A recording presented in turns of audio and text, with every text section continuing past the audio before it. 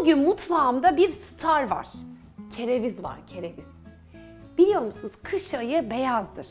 Ve kışın beyaz sebzeler, lahanalar, işte karnabaharlar, kerevizler çoğalır.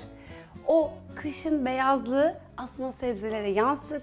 Böylece beyaz sebzelerden gitmeliyiz ki bize kışın ne kuvvet verecek? Bu sebzeler verecek. O yüzden baş konuğum diyorum. Ee, inanın alıyoruz, kullanıyoruz ama çok da faydasını düşünüyor muyuz? Belki de bazen atlıyoruz. Ayrıca pazara gittiğinizde neyle karşılaşıyorsunuz? İşte kerevizler, brokoliler, büyük büyük kocaman kocaman. Aldığınızda mesela kereviz alacaksınız. Sadece kereviz yemeği yapacaksınız. Ama ne yapıyor? Pazarcı size sapı da var, yaprağı da var. Onunla birlikte tartıyor. Ona göre bir fiyat çıkıyor. Sonra içinizden düşünüyorsunuz. Ya kereviz azıcık, sapı daha fazla. Ben parayı buna mı verdim diye düşünüyorsunuz.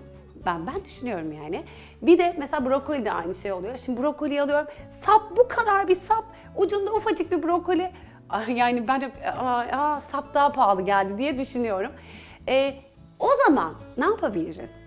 Kerevizi full, bütün, hiçbir şeyini atmadan nasıl kullanabiliriz? Ee, ben nasıl kullanıyorum, nasıl saklıyorum? Size bu konudan bahsetmek istiyorum. Şu kereviz dosyasını birlikte açalım mı? Evet, kerevizi masaya yatırdık. Şimdi şöyle de kestik. Evet, bu kökümüz değil mi? Kökle şimdi harika bir patates kızartması yapacağız. Evet, yanlış duymadınız patates kızartması yapacağız. Çünkü kimse kereviz olduğunu anlamayacak. Herkes bunu patates diye yiyecek. Peki, şimdi yapraklarını ne yapacağız, saplarını ne yapacağız? Şimdi şu tarafını şöyle kesiyorum, kenara alıyorum. Bakın, şu yapraklar, e, yaprağını ayrı ayıracağım da sapı, şu gördüğünüz kereviz sapı dünyanın en güzel atıştırmalığı. Diyette misiniz? Ama akşam dizi var. Önünde çekirdek yemek var ya da böyle e, brownie yemek yerine işte bu kereviz sapını yiyeceksiniz. Hem de ona çok güzel bir sos yapacağım. O sosla birlikte yiyeceksiniz. Ee, beraber kilo vereceğiz bu kereviz saplarıyla. Ben veremedim ama siz vereceksiniz. Eminim ben buna. Çünkü şimdi bana ekip bakıyor, herkes bakıyor. Şöyle bir durum oldu. Geçen sefer beraber YouTube çektiğimizde dediler ki Özge Hanım sizden bir dahaki görüşmemizde 5 kilo vermenizi e, istiyoruz. Hedef o olsun dediler. Ben üstüne 2 kilo aldım. E, o yüzden Allah'tan ekip şu anda bunu anlamadı ama yani kilo vermek bir yana kilo aldım. Ama bu kereviz sapı bir mucize. Zaten bu sap sadece satılabiliyor. Yani tek başına marketlerde bu sapı bulabiliyorsunuz kereviz sapını. Neden? Çünkü kereviz sapıyla smoothie'ler yapılıyor. Bu kereviz sapının suyu mucizevi bir şey. Sadece 5 gün düzenli kullandığınızda detoks etkisi yapıyor. Yani e, kerevizin de zaten detoks etkisi var. Ya diyorum ya bugün bir mucize ağırlıyoruz mutfakta diye. E, kereviz sapını tek başına da alabilirsiniz. Ama normalde pazardan aldığınız kerevizin de sapını böyle kullanabilirsiniz. Suyunu sıkabilirsiniz. Hatta benim alışveriş yaptığım pazar tezgahı ne yapıyor biliyor musunuz? Kerevizleri böyle satıyor. E, sapını ve yaprağını da hediye ediyor. Mesela isteyen alabiliyor. Çünkü e, sapa da geçeceğim. E, pardon yaprağı da geçeceğim. Yaprağı da difrize böyle atıyorsunuz. Bütün çorbalarınızda, turşularınızda kullanıyorsunuz. Ya bir mucize. Gerçekten süper. Evet hatta ben e, bombay fasulyesi pişirdim. Bol kerevizli. Nasıl yakıştı? Yani kereviz başka bir noktaya götürüyor yemeği ama dozunu da kullanmak gerekiyor. Bir tek orada e, bir detay var. Şimdi o zaman ne yapıyoruz? Hadi sapları şöyle güzelce tam atıştırmalık şekilde ayıralım. Sonra da sapları böyle kesiyoruz, ayırıyoruz. Biraz körpeyi yakalamak için şu e, yaprağa yakın yerleri tercih ediyorum. Bakın şöyle. Bunların hepsini yıkayacağım, temizleyeceğim. Bu arada tabii ki yapraklarını da ayırıyorum. Çünkü yapraklardan da mükemmel bir salata yapacağım. Ya yani bir anda o ay ben bu yaprağıyla sapını ne çok aldım dediğiniz kereviz aslında eve geldiniz size kocaman bir malzeme oldu. Şöyle yapraklarını da ayıracağım. Sonra yapraklarını güzelce haşlayacağız birlikte. Böyle bol sarımsaklı mükemmel bir salata yapacağız.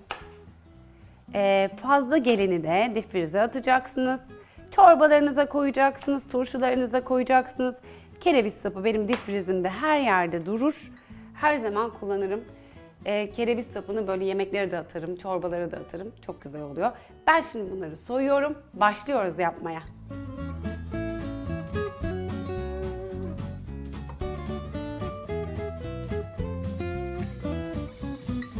Şimdi bir kerevizden 3 malzeme çıktı mı? Çıktı. Ne yapıyoruz? Yaprağım var burada. Hemen yaprakları şöyle kaynar suya alıyorum. O yapraklar şöyle güzelce kaynasın. Arzu ederseniz buharda da yapabilirsiniz. İkisi de gerçekten e, çok güzel oluyor. O birazcık kaynasın. Bu arada kerevizimi soydum güzelce. Onu da böyle dilim elma dilimi patatesler vardır ya. İşte elma dilimi patates olarak kesiyorum. Bakın şöyle.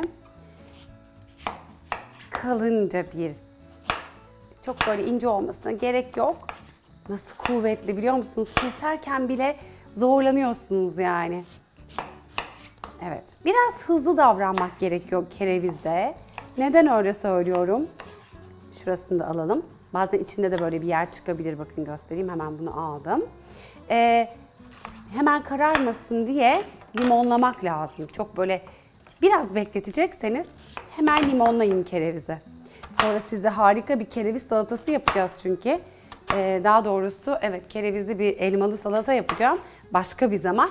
O zaman göreceksiniz. Anında rendelendiğinde kararıyor. O yüzden hemen limonlamak lazım. Şimdi tepsime alıyorum. Şöyle. Bakın patates gibi. Bunun patatesden bir farkı kesinlikle yok. Çocuklar kereviz mi yedi, patates mi yedi anlamayacaklar. Ben de böyle kandırmayı çok sevdiğim için. Sebze yedirmek için her türlü şeyi yaparım ben de. O yüzden e, size de tavsiye ediyorum. Şimdi hemen şurayı da fırına vermek için zeytinyağı alıyorum biraz. Biraz da bu bölüme, biraz da böyle. Her yere zeytinyağı değsin istiyorum. İkinci malzemem sarımsak tozu. Şöyle hafif sarımsak tozu ilave ediyorum. Gerçekten lezzeti çok değiştiriyor. Hemen toz kırmızı biber koyuyorum. Sonra bunları merak etmeyin karıştıracağız zaten. Evet toz kırmızı biberi de koydum. Ne koyuyorum biliyor musunuz? Zerdeçal. Yine çocuklara çok yedirmek istediğim ve mutfağımda baş tacı yaptığım bir şey zerdeçal benim. Çok da yakışıyor. Başka ne koyuyorum? Tuz koyuyorum tabii ki. Şöyle. Kendi tuzu da var kerevizin o yüzden çok abartmıyorum. Bir de karabiber ilave ediyorum. Şöyle karabiberi de koydum. Ya manzaraya bakar mısınız? Böyle bile yenir gibi duruyor değil mi? Bir eldiven alayım. Şöyle eldivenimi takayım. Biraz hafif bir masajla her tarafına baharatların ve zeytinyağının değdiğine emin olalım.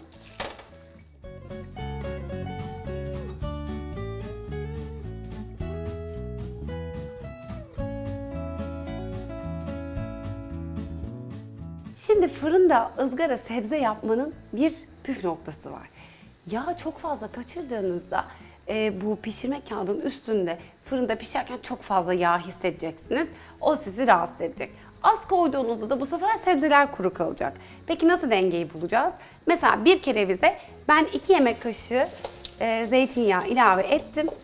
Evet bakın böyle hiç dipte şu anda yağ görmüyoruz. Sadece yağ sebzenin üstünde. Hepsi muhakkak yağlandı. Her tarafına muhakkak baharat değdi. Tamam. Kerevizlerimiz hazır. Hadi fırına gidelim.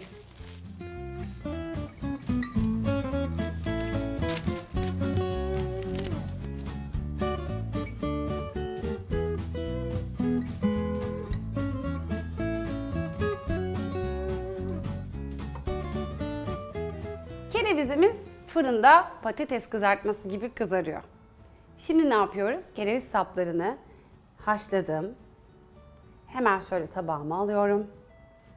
O kadar güzel kokuyor ki mutfak şu anda size. Nasıl anlatabilirim acaba kokusunu? Ee, buharda da yapabilirsiniz. Benim gibi haşlayıp güzelce süzebilirsiniz de. Kereviz yapraklarını haşladım, süzdüm. Şöyle tabağıma alıyorum. Yani bu ot kavurmalar, ot haşlamalar o kadar lezzetli oluyor ki.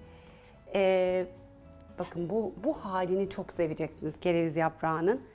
Ne yapıyorum? Önce limonumu alıyorum. Ve güzelce limonumu sıkıyorum. Şimdi limonumu sıkacağım size ufak bir şey söylemek istiyorum. Bu limonluk ufacık bir limonluk değil mi? Limon sıkacağı. Ben de internetten bunu gördüm. Bayağı da pahalıydı yani. Ay dedim iyi bir limon sıkacağı alayım falan. Bir yerde eve hiç santimine bakmamışım. Bir limon anca sığıyor, sığmıyor. Yani bazen internet alışverişi yanıltabiliyor insanı. Ben böyle bu mu ya? Bu mu? Gelen bu mu yani? Bir limon bile ancak böyle bu, bu kadar küçük bir limon olursa sıkabiliyorum. Ee, ve sonra gidip de bir daha da bir limon sıkacağı alacak fırsatım da olmadı. O yüzden bununla kaldım. Şimdi evet sıktık ama en azından çekirdeklerini ayırıyor. O da o da bir şey. Şimdi sarımsağım var burada. Zaten dövmüştüm sarımsağımı. Ama yine e, biraz hafif bir tuzla lezzetlendirmek istiyorum. Şöyle. Sonra çünkü salataya başka tuz koymayacağım. Güzel. Şöyle.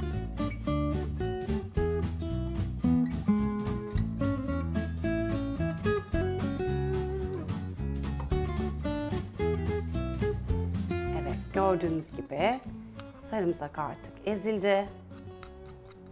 Bu neredeyse iki sarımsak kadar sarımsak var içinde. Şimdi içine limonunu koyuyorum. Limon suyunu. Tamam. Güzelce karıştırıyorum. Limon, tuz ve sarımsak iyice birleşti. Şimdi yavaş yavaş zeytinyağını veriyorum. O kadar güzel bir sos oluyor ki bu.